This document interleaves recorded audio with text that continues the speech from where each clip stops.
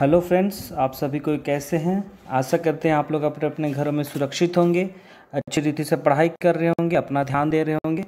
और हम लोग, अभी हम लोग झारखंड के इतिहास में जनजातियों के बारे में देख रहे हैं।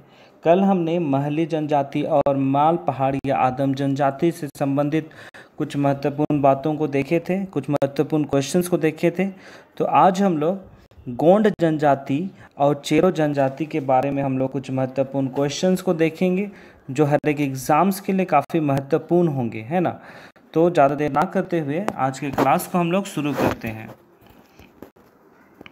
सबसे पहला क्वेश्चन है भारत की सर्वाधिक जनसंख्या वाली जनजाति।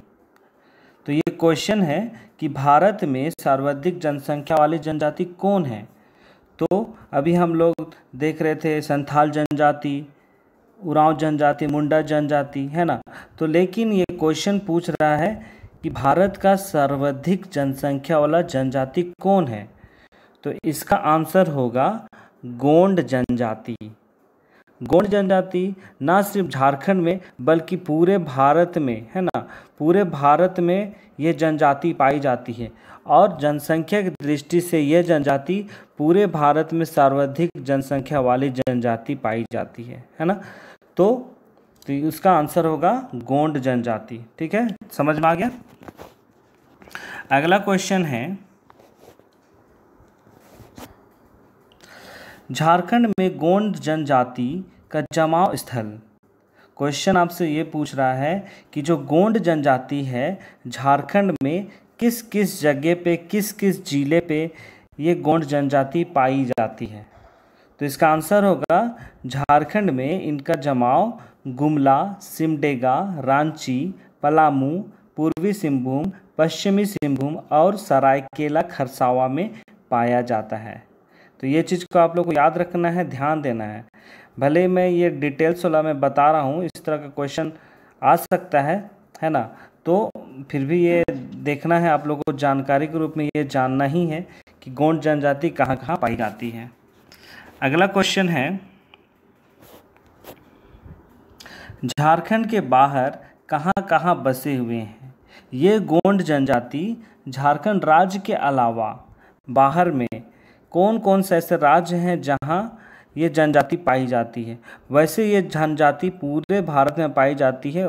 मतलब साउथ इंडिया को छोड़ के ऊपर पूरे जितना नॉर्थ इंडिया है, उधर पूरे हर एक राज्य में पाई जाती है। फिर भी हम लोग ये जानते हैं कि ये सबसे ज़्यादा छत्तीसगढ़, मध्य प्रदेश, आंध्र प्रदेश, महाराष्ट्र, बिहार, गुजरात, कर्नाटक, उड़ीसा एवं पश्चिम बंगाल में बसे हुए हैं। अगर हम लोग राज्य की बात करें कि भारत देश में सबसे ज़्यादा गोंड जनजाति कहाँ पाई जाती है तो वो होगा छत्तीसगढ़ और मध्य प्रदेश, ठीक है? लेकिन अगर आप लोगों को क्वेश्चन में रहता है तो ये छत्तीसगढ़ ही होगा। सबसे ज़्यादा पाई जाती है छत्तीसगढ़ में। अगला क्वेश्चन है। गोंड जनजाति का संबंध किस प्रजातीय समूह से है? गोंड जनजाति का संबंध किस प्रजातीय समूह से है? अभी तक जितने भी जनजाति हम लोग पढ़े हैं, हर एक जनजाति का किसी न किसी रूप से ये प्रजातीय संबंध है। तो इस गोंड जनजाति का जो संबंध है, वो द्रविड़ द्रविड़ प्रजातीय समूह से है।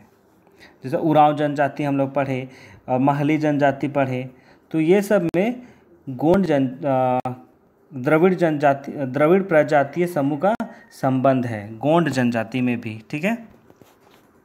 अगला क्वेश्चन है, गोंड जनजाति कितने वर्गों में विभक्त है?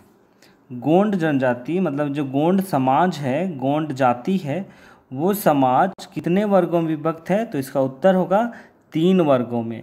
पहला क्या है? राजगोंड पटेल गोंड और कमिया गोंड तो ये तीन वर्गों में बटे हुए हैं ये समाज। ठीक है?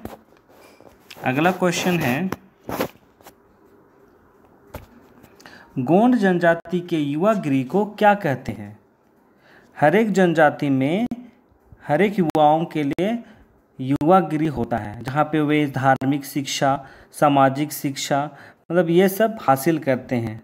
उनके समाज में किस तरह का कल्चर है संस्कृति है ये सब कुछ जानने के लिए ये युवा ग्रह बनाया जाता है।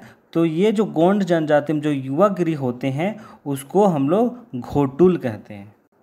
घोटुल ठीक है? या, याद रखिएगा घोटुल। अगला क्वेश्चन है अपने रिश्ते में विवाह करने की प्रथा को क्या कहा जाता है? गोंड जनजाति में अपने रिश्ते में मतलब खुद के रिश्ते में भाई बहन, मौसा, मौसी, फुफेरी बहन मेरी बहन, चचेरी बहन, उन सब के साथ विवाह करने को प्राथमिकता दी जाती है। मतलब उसमें खुद के रिश्ते से खून का जो रिश्ता होता है, उससे ही वे विवाह, खून का तो नहीं मतलब खून का, खुद का खून से नहीं, लेकिन जो चचेरी, फुफेरी, ममेरी जो होता है, उसकी बहनों से खुद के रिश्ते में ही ये विवाह करने की प्रथा है वहाँ, ये गोंड जनजाति में, जिसको हम लोग दूध लौटावा विवाह कहते हैं। दूध लौटावा विवाह कहते हैं। ये याद रखिएगा, क्वेश्चन बहुत महत्वपूर्ण है, ठीक है? और ये गोंड जनजाति में बवाह बहु विवाह का भी प्रथा है मतलब एक से अधिक विवाह कर सकते हैं। ठीक है? और इसमें विधवा, पुनर्विवाह, तलाक प्रथा, ये सब भी मिलता है गोंड जनजाति में। अगला क्वेश्चन है गोंड जनजाति के प्रधान देवता कौन है? गोंड जनजाति के प्रधान देवता ठाकुर देव है है ना? ठाकुर देव है जो सूर्य का ही एक प्रतिरूप है। और इस ठाकुर देवता को भी बूढ़ा देव भी कहा जाता है। ठीक है? ये याद रखिएगा आप लोग। अगला क्वेश्चन है, अब हम लोग चेरो जनजाति से देखेंगे। चेरो जनजाति झारखंड में कहाँ कहाँ बसे हैं? जो चेरो जनजाति है, झारखंड में कहाँ कहाँ बसे हुए हैं? इसका जमाव पलामू क्षेत्र में है है ना? चेरो जनजाति का जमाव पलामू क्षेत्र में है। और पलामू क्षेत्र के अलावे रांची, हजारीबाग जिला में ये समय बसे हुए हैं। लेकिन अगर महत्वपूर्ण तरीके से पूछा जाए कि सबसे ज़्यादा कहाँ पाया जाता है झारखंड में तो वो पलामू जिला होगा। ठीक है? अगला क्वेश्चन है। चेरो जनजाति अपने को क्या कहते हैं? जो चेरो जनजाति के लोग होते हैं वे लोग अपने आप को क्या कहते हैं? अपने आप को चौहान राजपूत कहते हैं। चौहान राजपूत।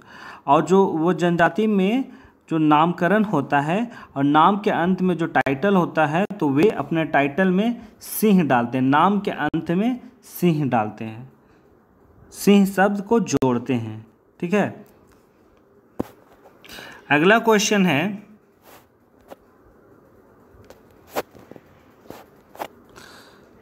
चेरो जनजाति के संबंध किस प्रजातीय समूह से है? तो यहाँ पर भी आप लोग देख रहे हैं, जनजाति का संबंध किस प्रजातीय समूह से है? तो इसका आंसर होगा चेड़ो जनजाति का जो संबंध है, वो द्रविड़ प्रजातीय समूह से उसका संबंध है। ठीक है? ये याद रखिए। अगला क्वेश्चन है, चेरो जनजाति को कितने गोत्रों में बांटा गया है? जैसे अभी इससे पहले गोंड जनजाति देखे, जिसमें तीन वर्गों में बटा हुआ है तो उसी तरह से ये क्वेश्चन पूछा है कि जो चेरो जनजाति है, उसको कितने भागों में बांटा गया है? कितने गोत्रों में बांटा गया है? तो इसका आंसर होगा, सात गोत्रों में बांटा गया है। ठीक है? तो इसका सात गोत्र में कौन कौन से होंगे? मवार कुंवर, सनवत, रौतिया, मांझ, सोहनैत और महतो। तो ये सात गोत्र हैं। चेरो जनजाति का, ठीक है? अगला क्वेश्चन है चेरो जनजाति में कितने तरह के विवाह होते हैं? चेरो जनजाति में कितने तरह के विवाह होते हैं? तो इसका आंसर होगा, तीन तरह के विवाह होते हैं। एक है डोला, दूसरा है गराऊ और तीसरा है चढ़ाऊ।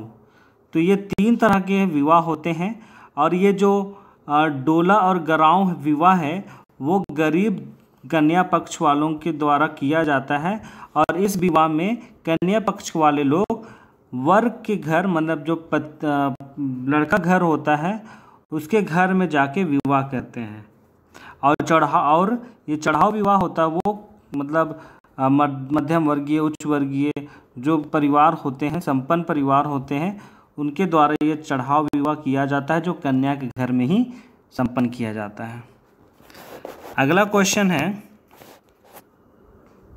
झारखंड की कौन सी जनजाति पहाड़ों और जंगलों में रहना पसंद नहीं करती? क्योंकि आप लोग देखिएगा, कहीं भी जो भी बुक्स पढ़ेंगे हम लोग जनजातियों के तो वो लोगों का एक्चुअल निवास स्थान कहाँ रहता है? जहाँ जंगल, पहाड़, पर्वत जहाँ जंगल क्षेत्र होते हैं, वनों से भरपूर रहता है, खनिज संपदा तो ये सब की जगह पे हम लोग देखते हैं कि जनजातियों का निवास स्थान रहता है। लेकिन क्वेश्चन में ये पूछा जा रहा है कि कौन सी जनजाति है जो पहाड़ों और जंगलों में नहीं रहना पसंद करती है? तो इसका आंसर होगा चेरो जनजाति, ठीक है? चेरो जनजाति के लोग पहाड़ों और जंगलों में रहना पसंद नहीं करती है। अगला क्वेश्चन है चेरो जनजाति का प्रमुख देवता कौन है? तो इसका आंसर होगा, चेरो जनजाति का प्रमुख देवता शिव और पार्वती है। ठीक है? शिव और पार्वती। अगला क्वेश्चन और ये आखिरी क्वेश्चन होगा। चेरो जनजाति के धार्मिक प्रधान को क्या कहा जाता है? चेरो जनजाति का जो धार्मिक प्रधान होता है, जो जो पूजा पाठ करता है धार्मिक जो विधि होती है उसको पूरा करने का जो काम करता है, धार्मिक प्रधान वो कौन होता है? तो इसका आंसर होगा बैगा, ठीक है? बैगा के द्वारा ये धार्मिक अनुष्ठान सब संपन्न किया जाता है, ठीक है?